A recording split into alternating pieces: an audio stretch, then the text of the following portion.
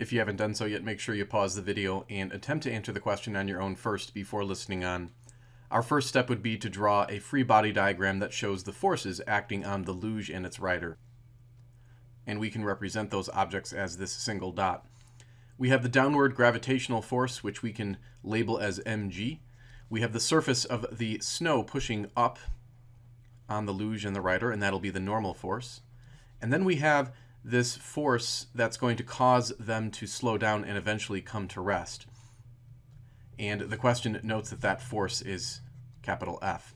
Now, the normal force and the gravitational force are equal in magnitude, so they essentially cancel each other out. That leaves the net force acting on the and rider to be just F.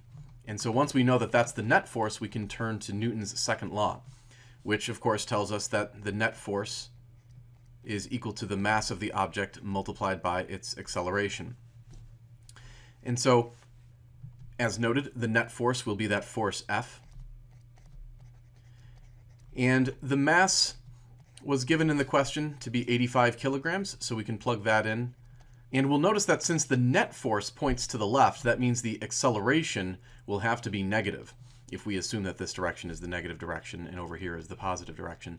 So we can plug in negative 2 meters per second squared in for the acceleration, and then when we compute that, we get about negative 1.7 times 10 to the power of 2 newtons. So that represents the net force. And since the question only wants the magnitude, we can actually take the absolute value of that net force. And that would turn out to be positive 1.7 times 10 to the power of 2 newtons. So this would be the correct answer to part A.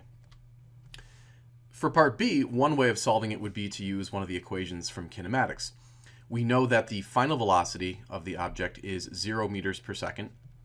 As noted, the acceleration is negative 2 meters per second squared. The initial velocity will be 37 meters per second. And then we're looking for the distance that is traveled. So in essence, we're looking for delta x.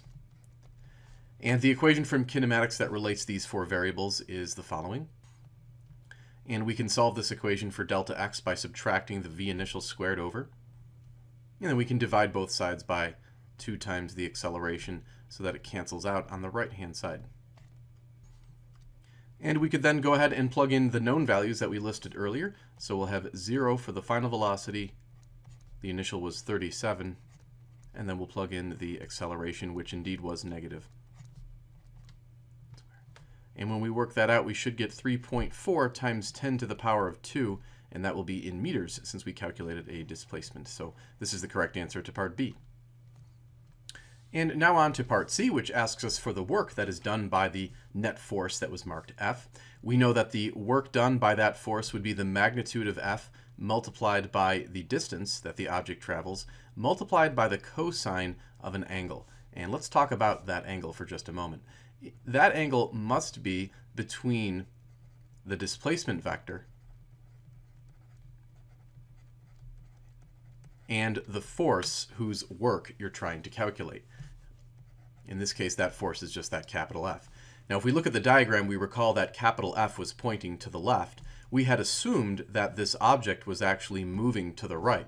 So if we want, we can label a displacement vector pointing to the right. And then you want to ask yourself, what is the angle between that displacement vector, which points to the right, and that force F, which points to the left? And of course, the angle between those two vectors would be 180 degrees. So when we plug into the work equation, we have to make sure our angle is 180 degrees. So we'll go ahead and do that. We'll plug in the magnitude of the force, which was the 1.7 times 10 squared newtons, times the distance that we calculated, 3.4 times 10 squared, and then multiplied by the cosine of that 180 degree angle. Now, the cosine of 180 degrees is negative 1.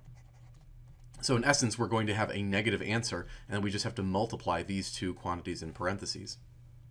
And when we do that, we get about 5.8 times 10 to the power of 4, and then the unit of work is joules. So this would be the correct answer to part C.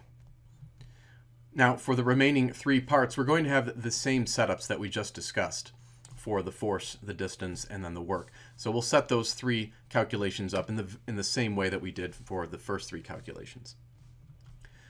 So here are the setups. We can go ahead and plug in all the known values. Just note that for this part of the question, the acceleration is now 4 meters per second squared in magnitude, so that means it's going to have a value of negative 4 meters per second square. Once again, it's a negative acceleration because the net force is pointing to the left, and therefore the acceleration also points to the left. And of course, even though the acceleration technically is negative, because of the question asking for the magnitude of the force, we're going to actually put the acceleration in absolute value terms. So it's actually going to be positive when we perform the calculation. So we've entered in the numbers. This turns out to be that net force. And then when we calculated the displacement, we plugged in the correct acceleration of negative 4. And we obtain this value. And then for the work, when we work that out, remember the cosine of the angle was negative 1 we once again get negative 5.8 times 10 to the power of 4 joules. So this is the correct answer to part F of the question.